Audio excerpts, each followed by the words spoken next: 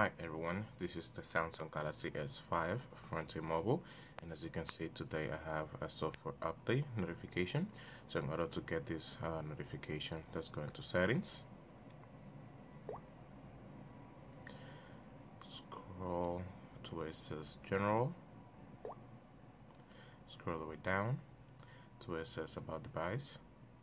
And then you're going to be tapping where it says download update manually and then you should tap where it says uh, check for software update. And and then this update should appear. So as you can see here it a software update. T-Mobile has sent you a new software update for your device.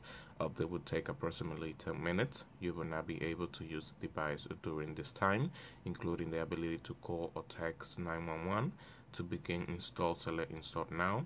Okay guys as you can see here the base the baseband version is going to be changing from pg2 to pl1 the size of the update is 95.11 megabytes what's new it says a software update can include but it's not limited to device stability improvements bug fixes new and or enhanced features further improvement to performance to get the best from your device, please keep your phone up to date and regularly check for software updates. Remaining updates, zero. Your device will restart after the update is installed. Tap here for more information.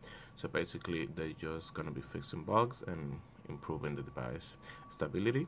So tap where it says install now. Your device will now restart and install update, so tap OK.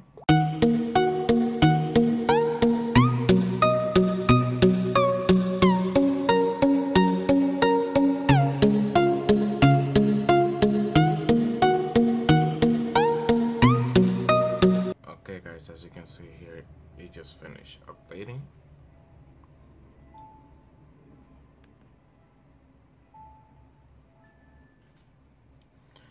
okay right now let's wait a couple of seconds for the pop-up. Okay there you go. It says software update. Update successful. Thank you for choosing T-Mobile so tap OK.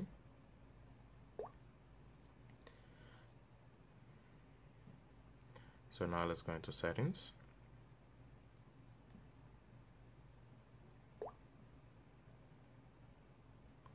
Let's go to general. Scroll all the way down and tap where it says about the device here you can see that we are still on Android 6.0.1 Marshmallow.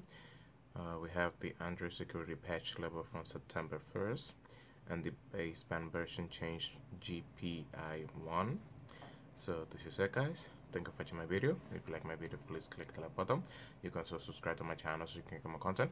If you have any question please leave it down below. Thank you for watching my video. Bye bye